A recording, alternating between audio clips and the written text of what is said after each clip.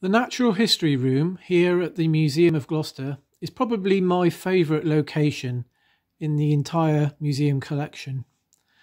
And on this one rack of shelves alone, there is a wealth of interesting objects. We have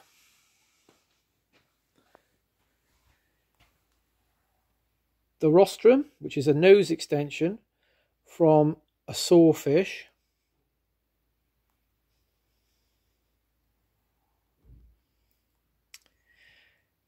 a fossilized Teleosaurus, which is an ancient Jurassic crocodile.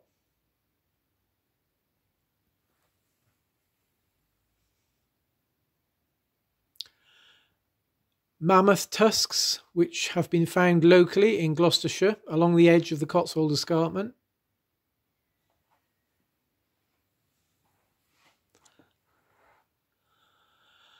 Whale rib bones found in the River Severn.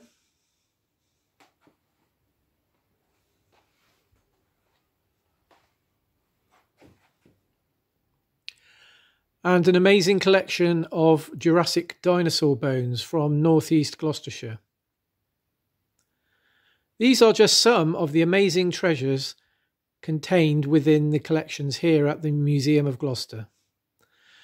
Thank you for watching this video clip, part of a series of video clips from the Virtual Museum of Gloucester.